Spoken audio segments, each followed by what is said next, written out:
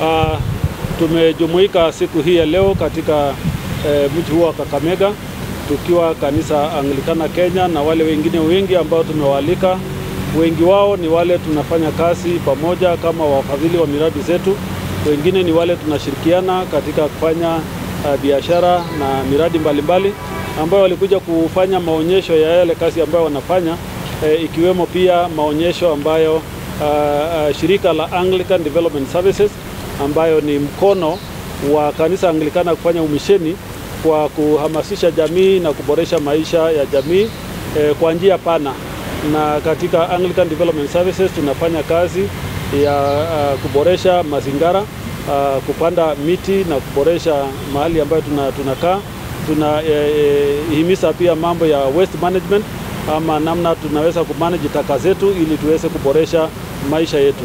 Tunaangazia maisha uh, mambo ya afya uh, ikiwemo pia usafi wa maji ambayo tunatumia. Uh, tunaangazia uh, mambo ya kilimo na kuweka chakula mezani wa kila familia, ndio tunaita food security. Tunaangazia mambo ya elimu. Kwa hivyo tunaona mambo haya yote ikiwa ni sehemu moja ya umisheni wa Yesu Kristo, maana alisema amekuja kutupatia maisha na ni maisha tele, maisha timilifu.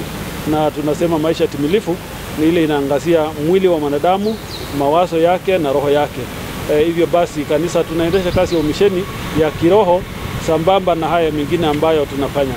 Hatufanyi kwa mashindano na serikali za kaunti ama serikali za kitaifa ama shirika lingine lolote lile, tunafanya kwa kuchangia. E, kwa kimombo tunaita complementary. E, tuna complement ile kazi wengine wanafanya ili tuweze kupata mwananchi ambayo ni maisha yake ni timilifu, na sisi tukiwa kanisa tunasema tungependa kuona mtu ambayo ana uhusiano na Mungu wake moyoni.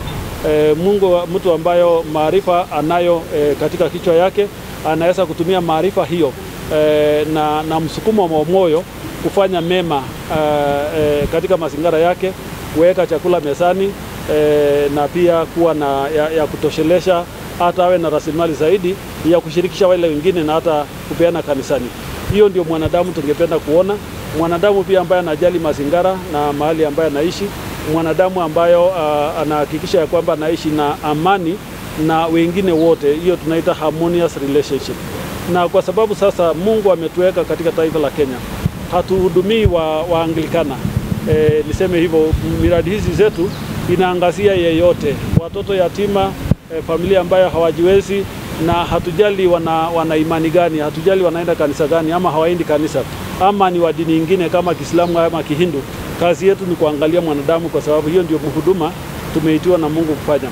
Aa, basi licha ya hayo tunasema tukifanya hayo e, tunataka kuita inji kwamba maendeleo haya yote na yale mengine serikali inafanya na ile watu wanafanya binafsi kama ujenzi wa manyumba Uh, wa biashara na kujizatiti kimaisha haiwezekani kama tuko katika maeneo ambayo kuna ukosefu wa amani.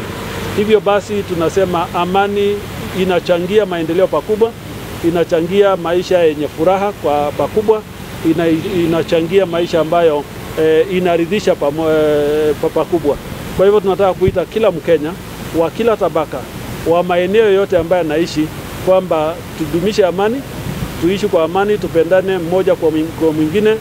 Tunahitaji kila mmoja, unahitaji mwenzako. E, Mungu ametuumba kama binadamu tukiwa viumbe ambavyo hatuwezi kukua mtu akiwa katika isolation ama katika e, mali ya, ya upweke. Tunakuwa wakati tunalete maisha yetu pamoja, tunakuwa wakati tunalete mawazo yetu pamoja, tunakuwa wakati tunafanya biashara pamoja, tunakuwa wakati tunashirikiana kwa sababu tukishirikiana tutafanya mambo makubwa ambayo mtu mmoja akiwa peke yake hawezi. Ndio sababu tunasema kidole kimoja hakiui chawa na, na, na ndiyo sababu tunasema kanisa litaweka watu pamoja, na tunataka nchi pia ambayo inakaa pamoja, na ndio tunaomba wanasiasa, hasa wakati huu ambayo tunatafuta uungwaji mkono e, tudumishe amani kwa kueneza maneno sio ya kufuruga, sio ya ufumi, sio ya uongo, sio ya kutaniana, sio ya kuangushana e, kwa kusema mabaya juu ya ile mengine, tushindane kwa mawazo. Sema ile sera ambayo watu watakupenda nayo na wale watakuamua nayo, lakini si, si kwenda katika mkutano ya siasa kutoka asubuhi mpaka jioni unazungumzia tu juu ya yule mpinzani wako. hiyo haitakupatia hai, hai, hai umaarufu. Kile itakupatia umaarufu ni kile ambayo utasema juu ya mpango ulio naye kwa wananchi, sio vile unataka kutusi yule mwingine ama kusema ubaya yake vile ilivyo. Tukiweka mashindano yetu ni ya mawazo, mashindano ni ya maoni, mashindano ni ya mahali tunaelekeza Kenya, basi tutakuwa na Kenya bora kuliko uh, vile ilivyo.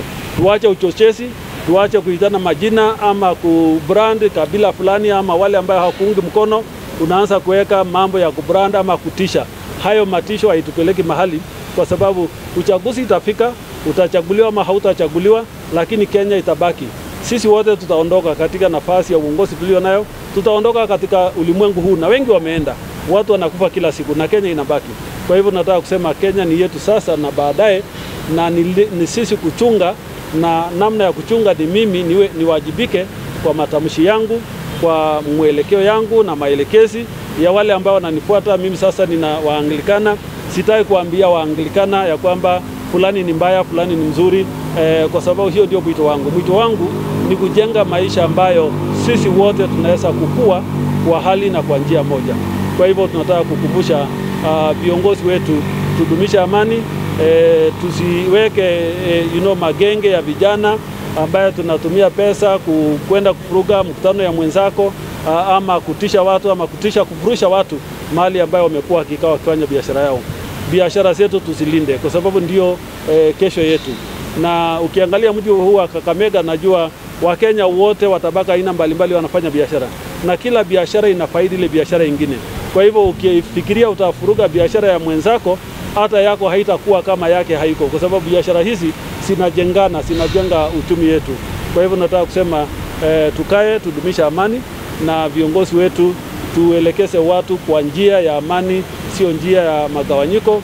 Uh, tuache sasa rais wetu Uhuru Kenyatta aende kustaafu bila kuleta cheche mingi zidi yake, kwa sababu yeye anajiandaa eh, kupumzika na, na, na tunaomba ya kwamba tuheshimiane, kila mmoja aheshimu yeye, aheshimu wengine na wale wengine wamheshimu, ili tuweze kujenga Kenya ambayo ni ya pamoja na ni Kenya yetu sisi wote, maana e, tutajifunyia Kenya ambayo inaimarika, sio ile inabomolewa. Na tukibomoa sisi wote tutalia, tukijenga sisi wote tutafurahi. Na hiyo ndio mwito wangu nikiwa askofu mkuu wa kanisa Anglikana. Mungu awabariki na abariki kanisa lake, abariki nchi yetu, abariki wa Kenya kwa jumla. Asanteni sana. Mwisho wito kwa IBC, kwa sababu kuna tayari mkutano ambao umeanza kushuhudiwa kati ya wanasiasa na IBC kuhusu zoezi ambalo pengine linaendelea kwa kuweza kutayarisha uchaguzi wa Agosti mwaka huu. Uh, tunataka kushukuru Mungu kwa sababu tuna taasisi mbalimbali ambayo watahusika, si IBC peke yake katika uchaguzi unakuja. Uh, tuna idara ya kulinda amani ambayo ni uh, uh, Ministry of Interior. Tunataka kila mmoja awajibike, hata askari wetu wanapotumika waajibike tu kudumisha amani aa, na si kulazimisha mambo ambayo e, kwa njia ambayo ita, italete e, shida kwa wananchi. E, tunaomba pia wananchi wakitulia, basi wapatie vitengo vya usalama nafasi yao waweze kutulinda vizuri. E, shirika la IBC ni shirika ambayo ni crucial wakati huu, na kile tumeanza kuona ni kwamba uh, kwa uh, vile wanaendelea kutuambia kunaonekana kuna utayari kuliko vile zinavyoonekana sinavyoonekana katika uchaguzi zilizopita. Sasa wamefika mahali wameshaoji wale wote ambayo e, wangetaka kujipeana, wamepeana certificate na sasa uh, mahali walipo sasa, na ndio walituambia jana wanaelekea katika ile clean up ya register, na hiyo ndio itakuwa crucial. Wapatieni wa Kenya nafasi ya kujua kikamilifu e, majina yao yako vizuri uh, ni, ni, ni, na kama kuna jambo lolote ambalo limetokea kama ile tunasikia kuna uhamisho ya, ya watu katika maeneo fulani e, tukitaka kuona ya kwamba warekebishe haya yote, ndio tukifika uchaguzi e, watu wote watakuwa wameridhika ya kwamba wameorodheshwa mahali ambayo wamesajiliwa wafanye pia clean up. Jana walituambia watu wangapi wamekufa tangu uchaguzi uliopita, uh, wangapi ambayo makadi zao haija, haijawekwa eh, stakabadhi vizuri. E, hii ni nafasi yao ya kufanya ile inaitwa clean up ya register na uh, wafanye kwa muda ambayo Wakenya watapata nafasi ya kuona hata kabla hatujapiga kura, ndio Wakenya wawe, waendelee kuwa na imani na IBC kwamba wataendesha uchaguzi ambayo ni ya uhuru na ya haki na hiyo itaondoa ile dhana ya kwamba IBC imehusika kwa kuibia fulani ama eh, kuharibia fulani. Eh, tunataka tuweke vitu vyote above board. Ndio sasa Kenya tuweze kupita hii kwa, kwa amani, na mimi sina tashwishi. Mungu ako pamoja nasi, na nataka kuambia Wakenya uh, hisia yangu inasema tutakuwa na uchaguzi ya amani, na lakini sisi wote tuchangie ili e, tuweze kuona ya kwamba tutakuwa na uchaguzi ya amani na turuke e, mwezi wa tisa a, na serikali mpya na kwa njia ya amani e, na kwa sababu tutakuwa na washindi na, na watakaoshindwa, ningetaka kuomba ya kwamba ikiwa sio wewe umechaguliwa na unaona kwamba ya kwamba umepoteza e, usive moyo, kuna nafasi nyingine, lakini usifurige ya amani ya wale wengine.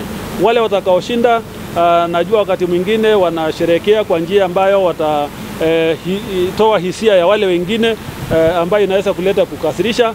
E, tusherekee kwa njia ya amani na kwa njia utulivu uh, na, na tuweze kujenga amani, sio ile ya kutaka kuonyesha wengine ati nyinyi sasa mmekwisha, tumewamaliza.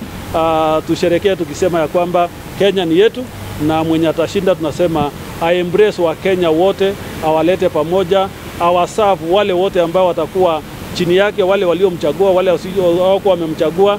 Tunataka kuona ya kwamba watakaoshinda waone Kenya ni moja, watakaoshindwa waone hawajatupwa nje ya Kenya, wana nafasi nyingine, na kama ujaridhika, uh, tusiende barabarani, twende kotini, kwa sababu sasa tuna kotini ambayo inaweza kushughulikia haya mambo, na tumeona hata katika zile chaguzi ndogo ndogo kwamba wameweza kushikilia mambo haya. Asanteni sana, Mungu awabariki. Uh, majina yangu ni Jackson Ole Sapit, askofu mkuu wa kanisa Anglikana Kenya. Siku hii tulikuwa hapa mjini Kakamega. Asanteni sana.